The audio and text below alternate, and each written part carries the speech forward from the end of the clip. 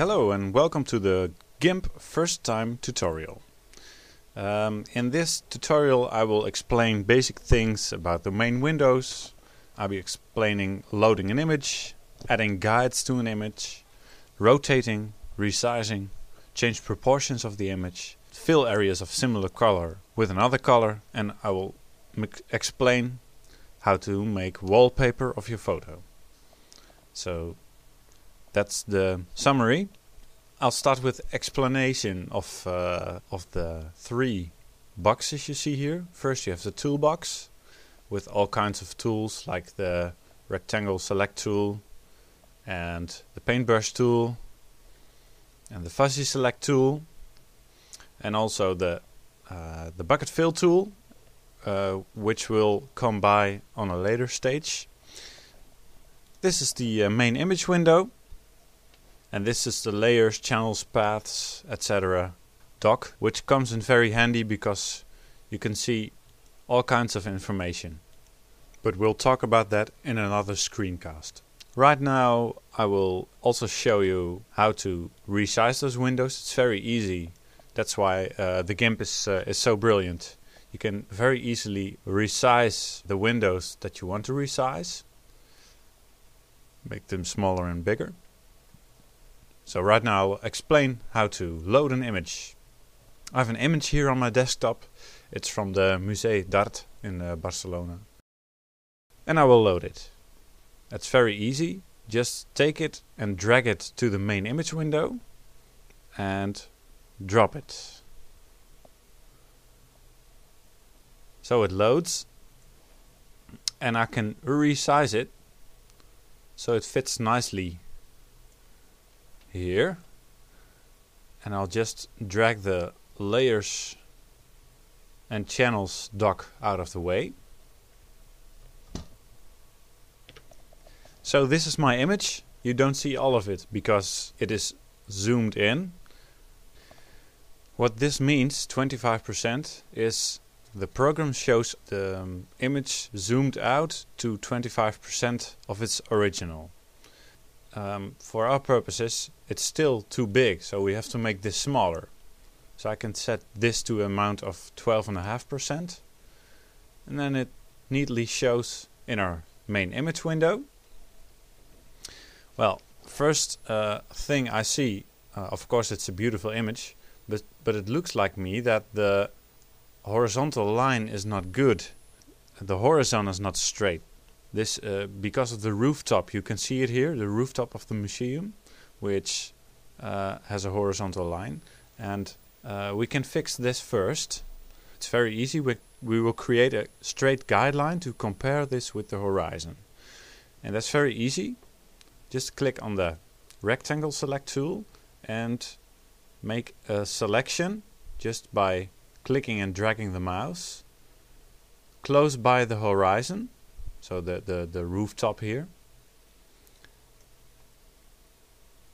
And go to images, or image I mean, and then guides,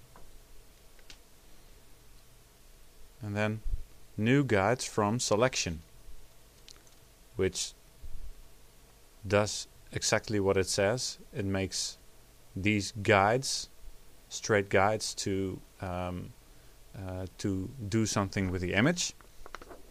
You can unselect everything by pressing Shift Control A or click anywhere in the image like this. And now we can press the rotate tool. That's here. And when we click that, when I click on the image again, we can rotate it.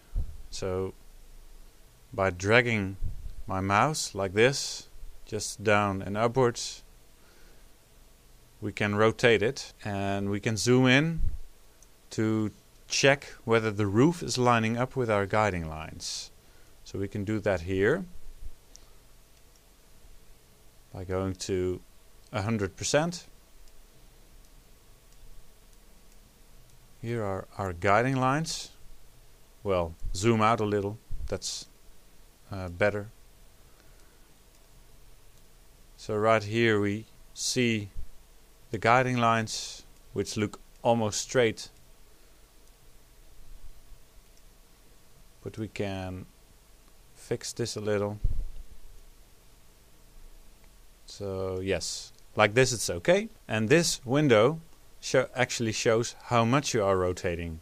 So this is like minus one degree or something. Well don't pay attention to it. It's not that important. You can click rotate and you really activate the rotation.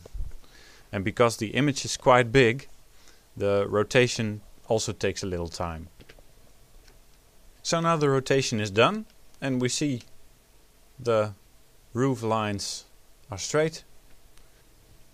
So now it's time to get rid of those grid lines. I can do that by clicking image, guides and then remove all guides. So now the image is uh, free of guides so the lines are uh, are gone.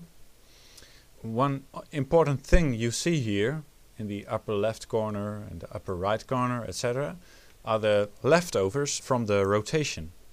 Because we have rotated it, of course, um, little leftovers on the sides are present, and we can remove them by select the rectangle select tool and select the part of the image which is not affected within those checkered parts of the image we, we will have to make the selection. I'll just make it a, a quick one for now. So when we have made this selection, we go to image and we want to crop the image to the selection. So we will make it as large or as small as the selection we have just made. So I click on that and voila, the image is cropped as we call it. So right now we have a neat image which is rotated and cropped.